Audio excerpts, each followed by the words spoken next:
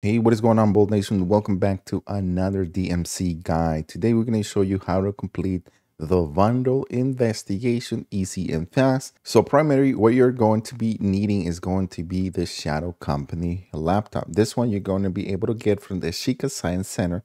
This was part of a previous mission that you had complete. Now, if you don't have the laptop, all you got to do is go back to Sweaty Ashika Island and pick up that Shadow Company laptop that is in the Science Center. That will be on the second floor on the desk. If you want to know more how where to go exactly, here is the video in the description. You go, go you can go and click on it and take a look at it.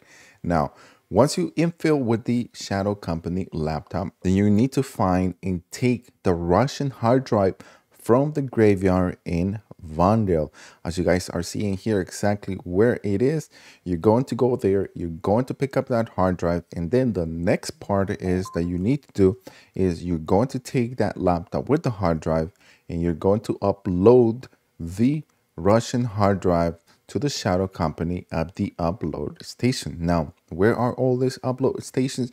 You can find them pretty much just in the larger buildings. Like in this case, we found some in the soccer field.